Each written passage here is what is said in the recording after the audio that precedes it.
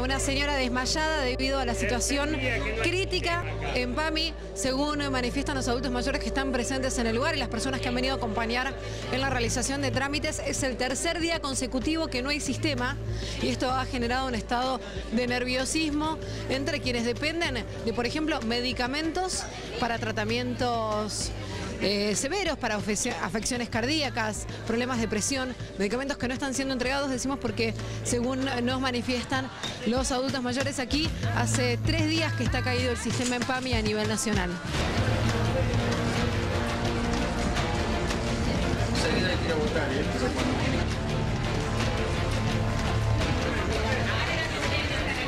Los abuelos están sufriendo, es una locura lo que están haciendo.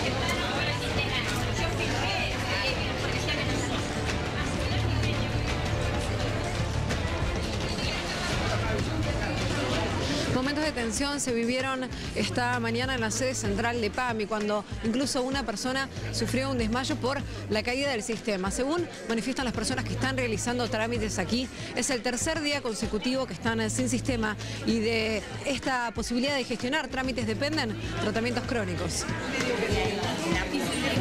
No hay sistema, tengo que, porque yo a mí me sacaron los remedios, yo estoy operado del corazón y yo tomo seis remedios y son todos gratis.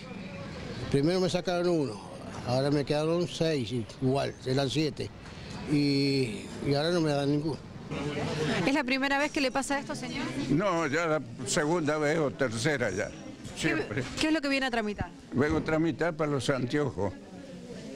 Y, pero no hay problema, siempre el mismo problema que se cae el sistema. Antes era la lapicera, no teníamos problema. Ahora más tecnología, peor estamos. No sé cómo es el sistema. Tres días hace que no tenemos, ni el lunes, ni el, ni el martes, ni hoy. Y mañana tampoco nos saben. Y yo, por ejemplo, no puedo estar mucho parada y tengo que estar parada porque necesito. Yo vengo para que me renueven los remedios. Dice que se cae en todo, en todo el país, el sistema, no sé. ¿Y qué le dicen? ¿Que vuelva al día siguiente? Sí, que, vengamos, que vengamos al día siguiente. Temprano. Temprano encima. Sí, sí, apenas. ¿Y a usted eh, le resulta sencillo venir hasta aquí o requiere todo un esfuerzo? Yo vengo desde el hospital regional, que es lejísimo, y tengo que caminar cinco cuadras, tengo que caminar, y yo no puedo con mis piernas. Señora, ¿cuál es su situación? El problema que tengo es concretamente con mi mamá de 96 años, le dieron la reparación histórica, entonces su sueldo aumentó. Como aumentó ya no entramos dentro de la categoría para que le den los medicamentos. Es una persona que necesita asistencia de tres sueldos y apenas llegamos, pero como nos dieron por un lado la reparación histórica, ahora tenemos que pagar los remedios.